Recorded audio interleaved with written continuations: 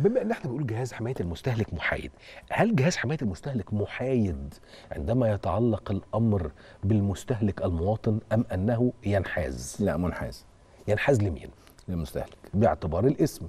بيعمل إيه؟ لا منحاز للمستهلك لاعتبارات كتير. مم. ليس بس لاعتبار الاسم قد يكون الاسم مصدر آه، واضح تماما للانحياز.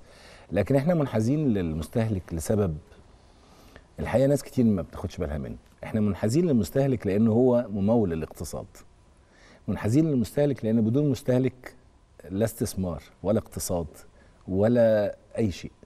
فانحيازي للمستهلك مش زي ما الناس متصورة تعاطف لا. أنا مع الدولة في حماية اقتصادها. فبالتالي أنا بحمي العنصر الأهم في منظومة التجارة اللي هو المستهلك.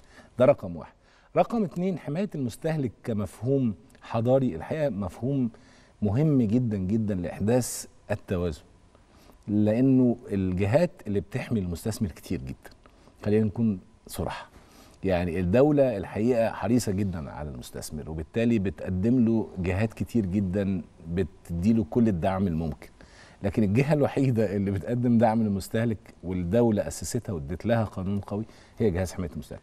في أسباب كتير تاني يعني في أسباب كتير أخرى بقى. لكن على الأقل لو قلنا السببين دول هو سبب انحيازنا للمستهلك فهو ده السببين. إيه الدور اللي بيقوم بيه جهاز حماية المستهلك في مصر؟ يعني لو أنا حبيت أحط له كده إطار أو ملامح رئيسية أو بيعمل كذا وكذا وكذا وكذا. يعني طبعا هو الدور عريض جدا وهو بيلخص في كلمة حماية المستهلك. حماية المستهلك بمعنى إنك أنت بتحافظ له على كل حقوقه اللي بتساعده على إنه يعني يتمم عملية شراء ناجحة وعادلة. يعني إن هو يتمم صفقه عادله آه، منها إنك أنت بتحمي حقوقه في وجود مستند يحميه في حالة النزاع ما بينه وما بين الطرف الآخر.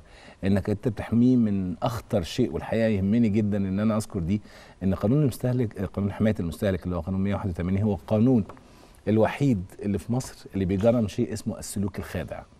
ودي الحقيقة نقطة يعني بتدي الحقيقة بنشكر المشرع وبنشكر الجهاز وبنشكر اللي قام على القانون لأن هذه المادة أنا في رأيي قد تكون يعني حجر زاوية في مسار حماية المستهلك فكرة السلوك الخادع. يعني إيه سلوك خادع؟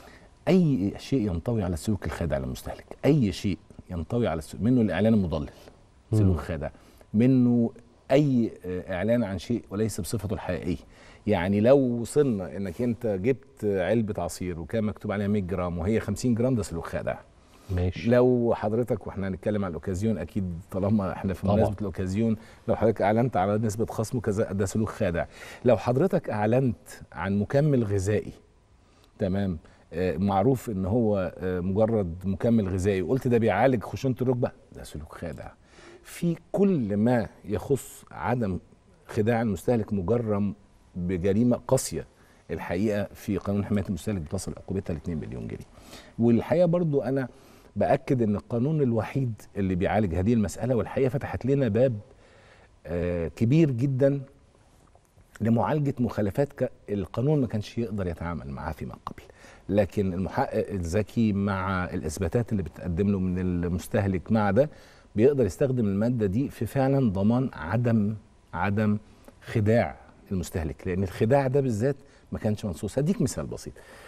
لو قلنا الأوكازيون الوهمي. آه الأوكازيون الوهمي إن حضرتك تقول بعلن عن سلعة مثلا إن سعرها كان قبل الخصم 120 جنيه وبعد الخصم 100 ويتبين ليك من الفحص وممكن نبقى نتطرق للموضوع ده بالتفاصيل إن كان سعرها قبل الخصم 100 وكتب عليها خصم 120 وبقت 100 دي كانت مجرمة في قانون المبيعات قبل كده بغرامة 50 جنيه كانت تصل ل 100 جنيه.